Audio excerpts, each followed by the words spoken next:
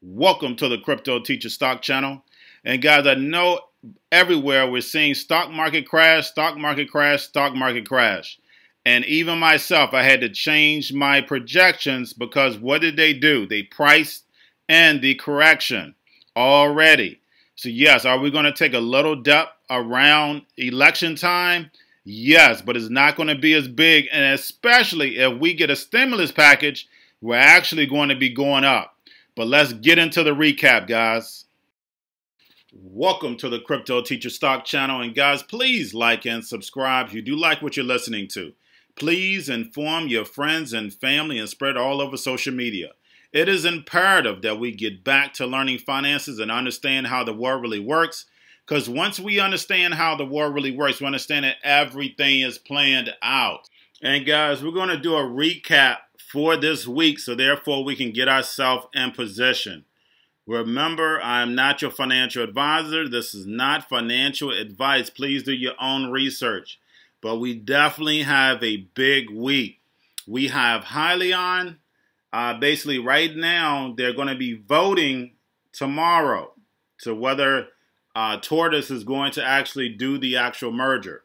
So, guys, if this happens, of course, he'll be uh, the youngest billionaire, and then of course we we're looking at electric cars, guys. So electric trucks. So we know where this is headed. I've been over this time and time again, but EV is where it's at. Now we also have Workhorse to watch out for whether they get the United States Postal Service billion dollar contract. So we have to keep a close eye on that. Remember, guys, I have the links in my first video of the NASDAQ and New York Stock Exchange IPOs. So basically, it's going to give you the dates, how much, all that good stuff, and those links. So make sure you go check those out and save them. Now, also, guys, we have ChargePoint EV charging stations. Remember, that's going to go public. And then also we have Palantir. Remember Peter Thiel's company, the CIA software. That's September 30th. And I feel like that's going to be probably the easiest money you'll ever get because it's going to be a straight listing. We don't have to worry about the IPO. Now, guys, the stocks to look at, remember I advise you, airlines and cruise lines. Any travel stocks are those stocks that you can hold on to and ride them up because they are way, way off of their highs because of the shutdown. So the fact that we're starting to see, even though they still have the C word in the media, we're still starting to see things free up. So definitely travel is going to start picking up. And of course, those stocks are going to pick up. Now, I've been over the actual gambling stocks. Uh, basically, I went over that Rush Street is going to do their IPO. I have, of course, you have DraftKings, like I stated, is already topped out. But guys, make sure the the people behind these companies, that's that's where your research comes in at. So when we look and see who owns these companies, the shareholders, we see Disney and then also we see George Soros. So guys, they know the avenue where we're headed. Same thing when we look at the electric tr trucks. They know where we're headed. It's all tech, guys. Remember, 70% of the stock market is tech. So the fact is that basically, of course, Disney owns what? ESPN. So just make sure we're connecting the dots, like I said, when we're doing uh, research. And then also, Caesar Entertainment is going to be big because we know that's the house for the casinos. So, guys, we have Hyliion, we have Workhorse, and we have Palantir. So we have to make sure we're staying up on the news, guys. These are big money opportunities. But guys, that's all I have for you. Don't forget about to like and subscribe and please spread this channel everywhere. And y'all have a wonderful day the drive functions there and boost efficiency. We'll have a, a, drive of that and get the details on the new axle that is now just starting to be available for order. So come along. The best way to describe it is, I mean, two years ago, uh, we were still in the development phase. We were working on the technology. Now we're at a standpoint where we've got over half a million miles driven on our trucks. So uh, it's you can order it. You can. Okay. Yeah. So okay.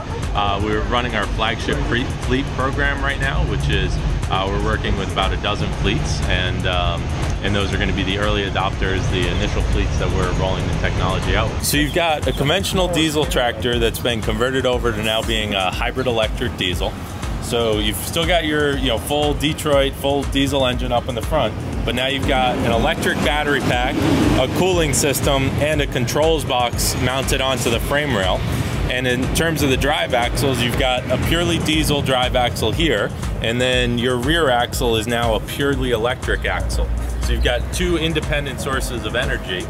Uh, and the, the diesel axle is still your primary drive, but when the vehicle is going to accelerate or it hits an uphill, the electric axle now kicks in and takes some of the load off of the diesel engine, which then reduces the amount of fuel the truck's consuming. We've got a uh, an air conditioning system that when you're driving down the road, we use it to cool your battery pack. But when you're stopped at a rest area, you can switch the system over to use that air conditioning to actually cool the cab. Uh, we also have uh, in-cab heating and uh, an inverter so that you can run all of your, you know, your iPhone, your TV off of uh, off of our battery pack when uh, when Dan's accelerating, uh, this emblem will turn green, and when it turns green, that means that the electric axle is kicking in and it's applying power. When this emblem turns blue, it means that it's doing regen braking, so it's actually capturing energy off that off that axle and charging up the battery pack. Uh, when it's white, like it is now, that means the axle is doing nothing. It's just coasting. It's along for the ride. Um, and then on the left side of the screen, we've developed what we call eco driving, which is a, a, tool that we use to encourage drivers to be more fuel efficient in their driving. Uh, so as they do light acceleration or they're coasting the vehicle, they'll actually accumulate points uh, and, and, create a higher eco score for their driving. And uh, as you accumulate more points, we have a, a driver rewards program that we incentivize the drivers to be more fuel efficient drivers. Electric vehicle stocks racing higher today, and there's a new player that just got their ticket to ride. Our Phil LeBeau joins us now with the Lordstown Motors CEO, Steve Burns. Phil. Thank you, Melissa. Let's bring in Steve Burns, who is the founder and CEO of Lordstown Motors, joining us from the company's facility that they're still working on in Lordstown, Ohio. Uh, Steve, just to bring the audience up to speed, you guys announced uh, a SPAC IPO deal today with Diamond Peak Holdings, valued at $1.6 billion. Uh, you expect it to close in the fourth quarter. How did this all come together, and how long were you guys uh, in talks with Diamond Peak, so to speak? Uh, we started looking at SPACs. You know, COVID kind of put the brakes on some of the private funding we were talking to, so we started talking to SPACs maybe three months ago. We interviewed four or five of them. Uh, I, I, did find out that all SPACs are not created equal, and uh, you've got to find one that's a good fit. And Diamond Peak, uh, their CEO, really uh, melded with our, our vision and our team. So it took about two and a half months to get, uh, get to this point. Did you see greater urgency once you saw the reaction uh, that the market had to what's happened with Nikola? Now you have Fisker, they've announced their own SPAC. Uh, did you see a greater urgency to say, hey, let's get this done as quickly as possible? Well, you know, I, I, I have to be honest, you know, it does seem like Wall Street goes from thing to thing and you know peaks and valleys. And uh, if we were going to do it, we wanted to do it why it was uh, the appetite was there, and we really felt like we differentiated ourselves from the others that had come out. You know, we have a factory and a prototype, and we're marching towards production, and so we thought it was uh, suitable for for a SPAC and and to be up on the Nasdaq.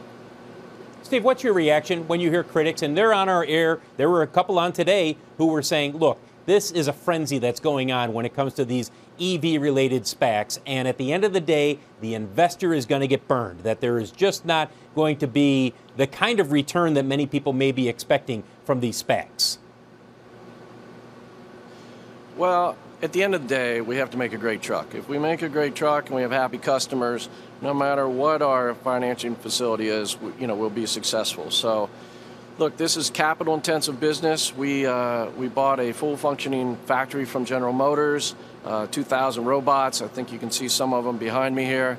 Uh, the prototype's running great, and we've got a great team. So, uh, you know, we can't really look at, uh, at, at how others are doing. We just have to march towards our, our production date. We got 27,000 orders. We got customers really, really wanting the truck. You know, there is no electric pickup truck out yet. So, uh, there needs to be one. And that behind you, I think, is that the endurance behind you? A